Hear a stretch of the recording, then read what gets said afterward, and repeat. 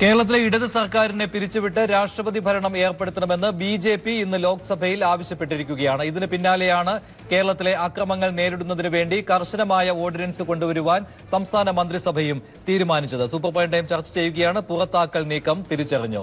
Shri M Rajesh M ഇന്ന് ലോക്സഭയിൽ നിഷികാന്ത് ദുബെ ഉന്നയിക്കുകയാണ്. ഇടത് സർക്കാരിനെ പിരിച്ചുവിടണം രാഷ്ട്രപതി ഭരണം ഏർപ്പെടുത്തണം എന്ന്. നേരത്തെ കേന്ദ്രമന്ത്രി സ്മൃതി ഇറാനി ഇക്കാര്യം ആവശ്യപ്പെട്ടതാണ്. അവർ ഇത്രയും പറഞ്ഞിരുന്നില്ല ഭരണഘടനാപരമായ പ്രത്യാഘാതം നേരിടേണ്ടി വരും എന്നാണ് പറഞ്ഞത്. അതുപോലെ തന്നെ ബി ജെ പിയുടെ വക്താവ് നരസിംഹറാവുവും ഇക്കാര്യം വ്യക്തമാക്കിയതാണ്. ഒരു സംഘടിതമായ നീക്കം നടക്കുന്നുണ്ട് കേന്ദ്രത്തിൽ എന്ന് സംശയിക്കുന്നുണ്ടോ? അതോ ഇങ്ങനെ ഒറ്റപ്പെട്ട ശബ്ദങ്ങൾ ഉയർന്നു വരുന്നു? ഒരു സൂചന ഉയർത്തിക്കൊണ്ട് വരണം ഒരു സന്ദേശം കൊണ്ടുവരണം ദേശീയ തലത്തിലേക്ക് കേരളത്തിലെ ക്രമസമാധാന നില തകർന്നു. ഇത് മാത്രമേ ഉള്ളൂ? അതോ നേരത്തെ പറഞ്ഞതുപോലെ പിരിച്ചുവിടണം എന്ന രീതിയിലുള്ള ഒരു സംഘടിതമായ നീക്കം നടക്കുന്നുണ്ടോ? തീർച്ചയായിട്ടും ബി ജെ പിയുടെയും ആർ എസ് എസിന്റെയും ദുരുദ്ദേശം വളരെ വ്യക്തമായി ഇപ്പോൾ പുറത്തു വന്നിരിക്കുകയാണ്. ഇത് ഇപ്പോൾ തുടങ്ങിയതല്ല. ഇവരിതിനുള്ള കോപ്പ് കൂട്ടി തുടങ്ങിയത് കേരളത്തിൽ എൽ ഡി എഫ് അധികാരത്തിൽ വന്നത് മുതൽ തന്നെയാണ്. ആദ്യം രാഷ്ട്രീയ അക്രമങ്ങളുടെ പേരിൽ ആദിത്യനാഥ് ഉൾപ്പെടെ മുഖ്യമന്ത്രിമാരെയും കേന്ദ്രമന്ത്രിമാരെയും ഒന്നിച്ചണിനിരത്തി അമിത്ഷായുടെ നേതൃത്വത്തിൽ നടത്തിയിട്ടുള്ള പരിശ്രമം നമുക്കെല്ലാവർക്കും ഓർമ്മയുണ്ട്. പക്ഷേ ആ പരിശ്രമം തുടങ്ങും മുമ്പ് തന്നെ അത് അലസിപ്പോയി. അമിത്ഷായ്ക്ക് ഇരുപത്തിനാല് മണിക്കൂർ കൊണ്ട് കേരളം വിട്ട് ഓടേണ്ടി വന്നു. ആദിത്യനാഥ് ഉൾപ്പെടെയുള്ളവർ വന്നിട്ടും ഒരു അനക്കവും കേരളത്തിൽ ഉണ്ടാക്കാൻ കഴിഞ്ഞില്ല. പ്രത്യേക വിമാനം പിടിച്ചാണ് അന്ന് അരുൺ ജെയ്റ്റ്ലി വന്നത്. എഴുപത്തിനാല് ലക്ഷം രൂപയ്ക്ക് പ്രത്യേക വിമാനം പിടിച്ചാണ് അന്ന് തിരുവനന്തപുരത്ത് അരുൺ ജെയ്റ്റ്ലി വന്നത് എന്ന് നമ്മൾ ഓർമ്മിക്കേണ്ടതാണ്. അതിനുശേഷം ദേശീയ തലത്തിൽ കേരളത്തെയും കേരള ഗവൺമെന്റിനെയും ടാർഗറ്റ് ചെയ്തുകൊണ്ടുള്ള ആസൂത്രിതമായിട്ടുള്ള പ്രചരണം തന്നെ ആർ എസ് എസും ബി ജെ പിയും സംഘടിപ്പിക്കുകയുണ്ടായി. ഇതിൽ പലതും വ്യാജമായിരുന്നു എന്ന് ഓർമ്മിക്കണം. വ്യാജമായ വസ്തുതകളുടെ അടിസ്ഥാന വ്യാജമായിട്ടുള്ള പ്രചരണത്തിന്റെ അടിസ്ഥാനത്തിൽ കേരള സർക്കാരിനെ ടാർഗറ്റ് ചെയ്യാനുള്ള ശ്രമങ്ങളുണ്ടായി. ഏറ്റവും ഒടുവിൽ ഇപ്പോൾ ഈ ശബരിമല പ്രശ്നവുമായി ബന്ധപ്പെട്ട് ആദ്യം ശബരിമല വിധിയെ സ്വാഗതം ചെയ്ത് രംഗത്തെത്തിയ ആർ എസ് എസും ബി ജെ പിയും പിന്നീട് മലക്കം മറയുകയും അതിരൂക്ഷമായിട്ടുള്ള ആക്രമണങ്ങളുടെ പരമ്പര അഴിച്ചുവിടുകയും ചെയ്തിരിക്കുകയാണ്. സുവർണാവസരം എന്ന് ശ്രീധരൻപിള്ള തന്നെ പ്രസംഗിച്ചതും നമ്മൾ ഈ സന്ദർഭത്തിൽ ഓർമ്മിക്കേണ്ടതാണ്. രാഷ്ട്രീയ സുവർണാവസരമായിട്ടാണ് അവർ ശബരിമലയെ കാണുന്നത്. അല്ലാതെ വിശ്വാസത്തിന്റെ പ്രശ്നമായിട്ടൊന്നുമല്ല. അങ്ങനെ വ്യാപകമായിട്ടുള്ള ആക്രമണങ്ങൾ. ഒരാ ഒരു ശബരിമല സീസണിൽ മാത്രം ഏഴ് ഹർത്താലുകൾ നടത്തിയത് ഈ ലക്ഷ്യത്തോടെ തന്നെയാണ്. അക്രമങ്ങൾ സൃഷ്ടിക്കുക എന്നുള്ള ലക്ഷ്യത്തോടെ തന്നെയാണ്. അവർക്ക് ഉദ്ദേശിച്ച ഫലം ചെയ്യാതെ വന്നപ്പോഴാണ് അപകടത്തിൽ മരിച്ച ഒരാളെ ബലിദാനിയാക്കാൻ ആദ്യം ശ്രമിച്ചു. അത് പരാജയപ്പെട്ടു. ദയനീയമായിട്ട് പരാജയപ്പെട്ടു. പരിഹാസ്യരായി.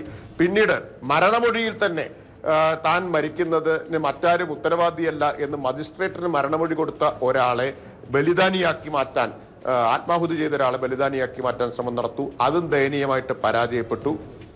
ഏറ്റവും ഒടുവിൽ ഹർത്താലിന്റെ മറവിൽ ആർ എസ് എസിന്റെ ജില്ലാ നേതാവ് തന്നെ പോലീസ് സ്റ്റേഷനിലേക്ക് തുടർച്ചയായി ബോംബെറിയുന്നത് നമ്മൾ കണ്ടു.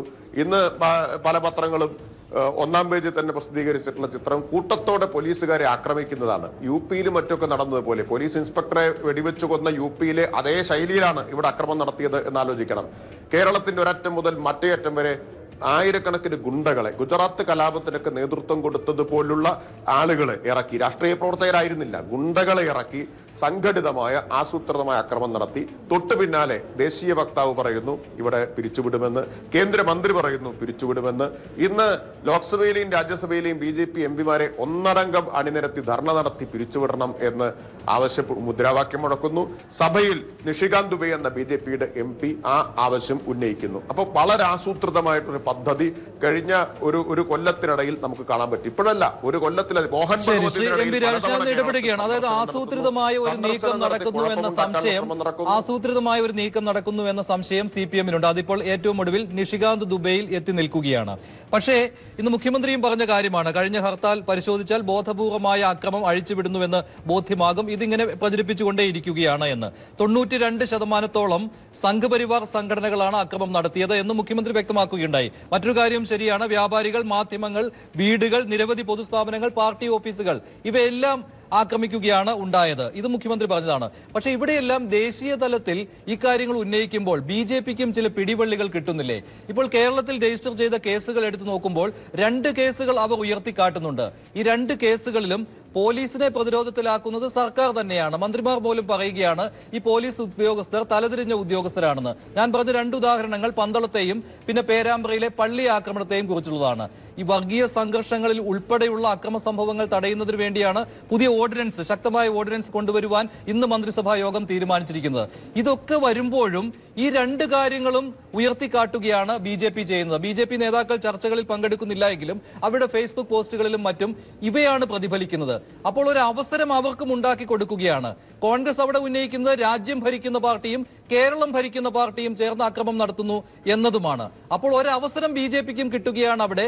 ഈ വിഷയം ദേശീയ തലത്തിൽ ഉന്നയിക്കുവാനും അങ്ങനെ കേരളത്തിൽ ക്രമസമാധാന നില തകർന്നു എന്ന് പ്രചരിപ്പിക്കുവാനും സർക്കാരിനെ പിരിച്ചുവിടണം രാഷ്ട്രപതി ഭരണം ഏർപ്പെടുത്തണം എന്ന് ആവശ്യപ്പെടുവാനും. മഞ്ജുഷ് ഏതോ രണ്ട് കാര്യം ചൂണ്ടിക്കാണിച്ചുകൊണ്ട് സംസ്ഥാന സർക്കാരിനെ പിരിച്ചുവിടണം എന്ന ബി ജെ പിയുടെ വാദത്തിന് അവർക്ക് ബലം കിട്ടുകയില്ലേ എന്ന് ചോദിക്കുന്നത് എന്നെ അത്ഭുതപ്പെടുത്തുന്നു. ഒരു സംസ്ഥാന സർക്കാരിനെ പിരിച്ചുവിടുക എന്ന് പറഞ്ഞാൽ ഏതെങ്കിലും രണ്ട് കാര്യങ്ങളുടെ പേരിൽ പിരിച്ചുവിടാൻ കഴിയുമെന്നാണോ മഞ്ജുഷ് വിചാരിക്കുന്നത്?